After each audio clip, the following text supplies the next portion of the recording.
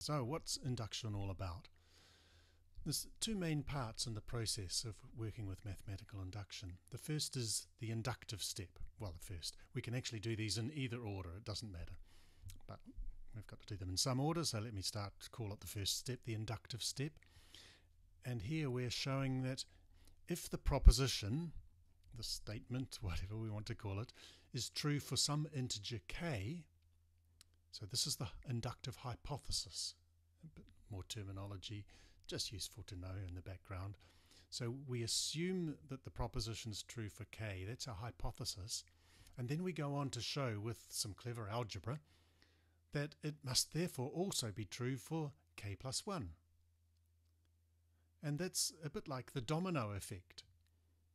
If we tip one over, all the ones after that are going to tip over too and that's the basis of induction.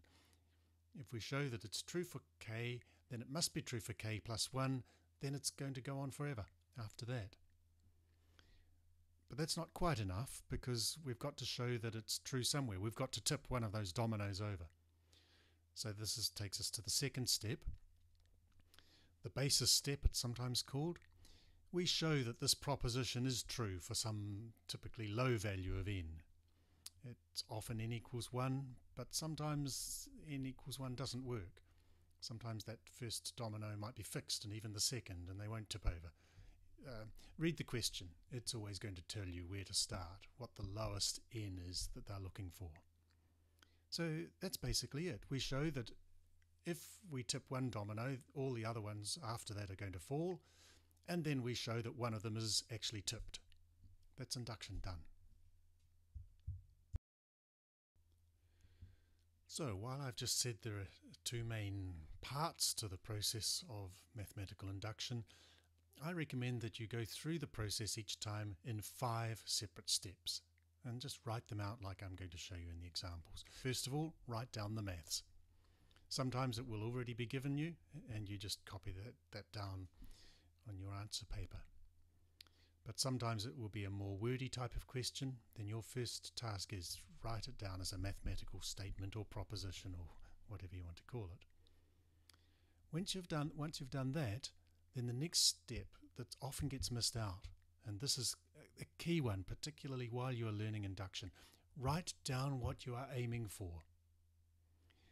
That then guides you in the later algebra that you're doing. And to guide you, you will find it a lot easier than just launching straight into the inductive step, which I suggest comes third. So here we make our inductive hypothesis. In other words, we assume that the proposition is true for n equals k. So we write down the statement as if it's true with a k in it instead of n. And then, this is the algebraic part, step four, we work away with the statement. So we've assumed it's true, and then we work with it and manipulate it and play around with it until we arrive at what we were aiming for and we'd written down in step two. So that's that's the biggest algebra bit of it, step four. So then if you can rewrite that equation in terms of what you are aiming for, then you have shown that if the proposition were true for k, then it's also true for k plus 1. That's the main part done. If one domino tips, all the ones after that will tip too. But they, that's not quite enough. We've got to do this last basis step. We've got to show that one of them is tipped. And so choose the smallest n that's required in the problem and show that the pro proposition is true for that particular n. And then that's it, induction's proved. You've shown that one, one has tipped over. You've shown that if one tips, all the ones after that must be tipped. So it's going to be true for everything greater than or equal to that one that you prove in the basis step.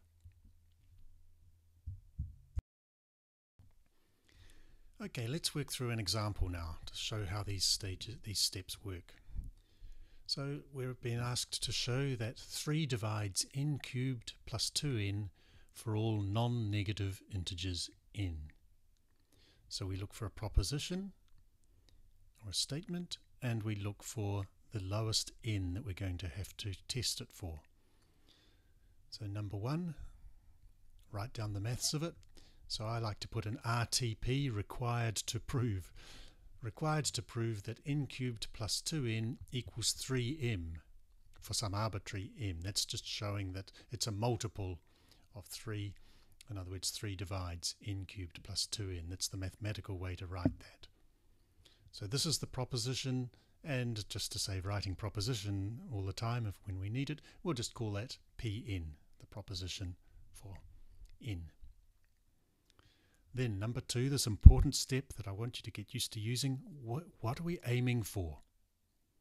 This is going to guide our algebra, you see. Well, where it used to be n, we're going to now be wanting to show it's n plus 1. So where it was n cubed, it will be n plus 1 all cubed. Where it was n there, it becomes 2n plus 1 equals 3. Again, some multiple. It doesn't have to be the same one as before. All we need to show is that this, when we've got an n plus 1 there, it still divides by 3.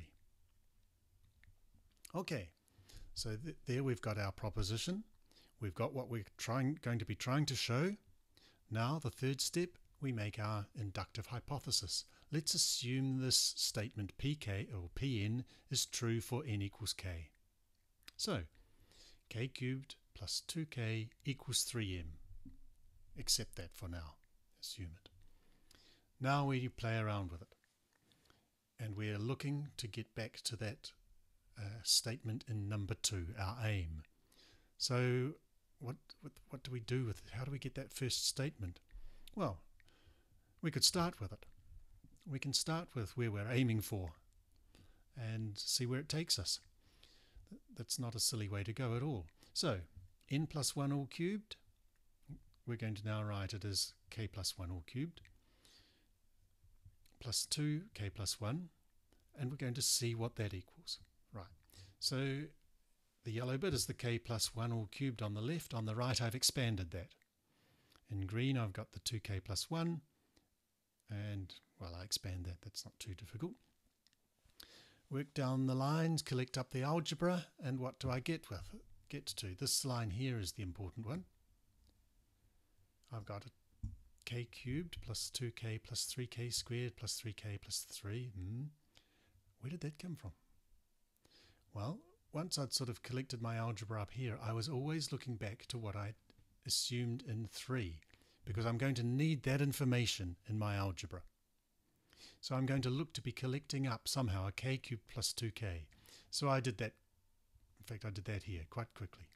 The k cubed plus 2k, we know from our assumption, is 3m. Write it down, 3m. And plus whatever's left over, it was this bit. Take a factor out, a factor of 3 out, there we go. And in fact, we're there, aren't we? m is an integer, k is integer, so k squared plus k plus 1 must be integer. So this whole thing can be written as 3 times some new integer p. In other words, this whole expression now will divide by 3 as long as this thing held. And so we've proved it. B holds as long as A holds. So in, in nice formal mathematical language, if pk is true, then we have shown pk plus 1 is also true. Wonderful. And then the final little bit, which domino do we push over? Well, what did they, they asked us to show that it was true for all non-negative integers n. So we start with n equals 0. And the final step, then the basis step, We test for n equals 0, the left-hand side of the proposition Pn is just then, uh, that should be a, a 0 cubed, not 0 squared. 0 squared plus 0 cubed plus 2 times 0, and that of course equals 0. And that that's sort of a multiple of 3. Multiple of anything, but 0 works. So we've shown that this is true for n equals 0. We've shown in the inductive step that if it's true for k, it's true for k plus 1, and therefore we've shown that it's true for all n greater than or equal to 0. And that's it. Done.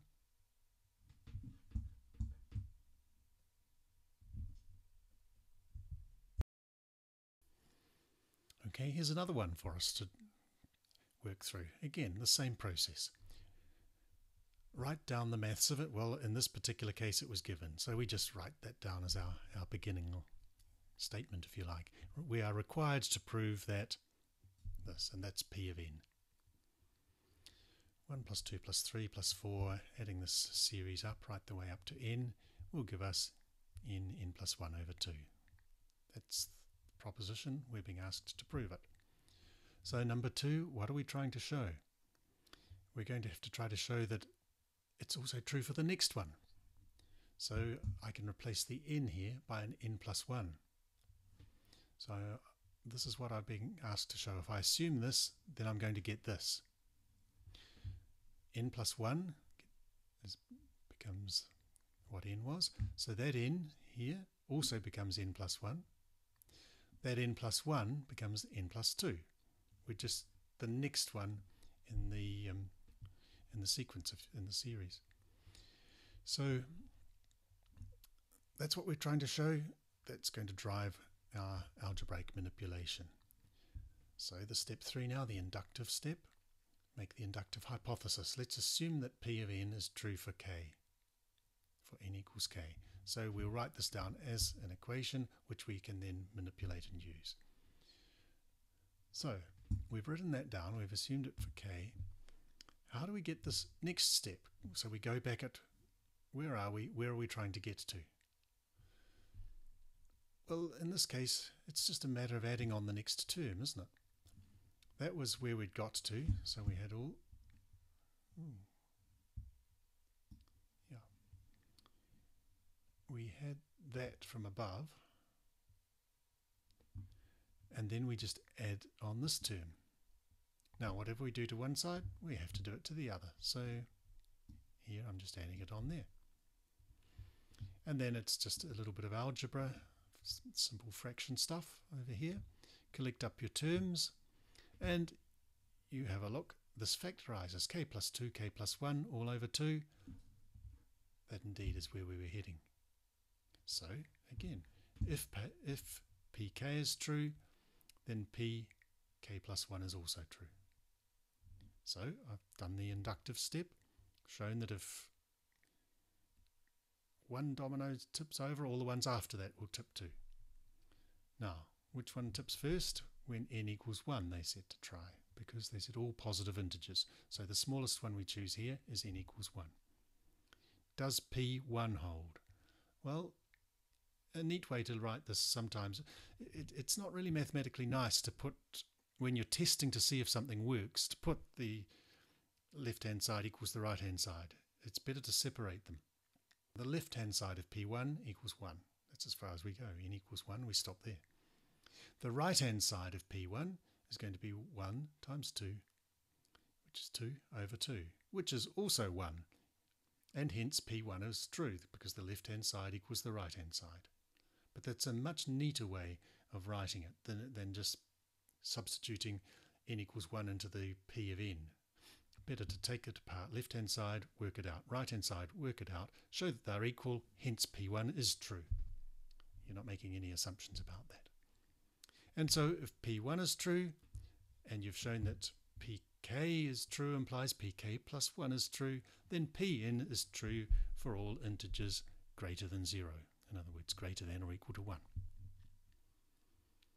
So that's mathematical induction. The, the steps are basically the same, but what you have to do with that algebra is, is the challenge. And that just comes with more and more practice. So I'll leave you to carry on and do that now.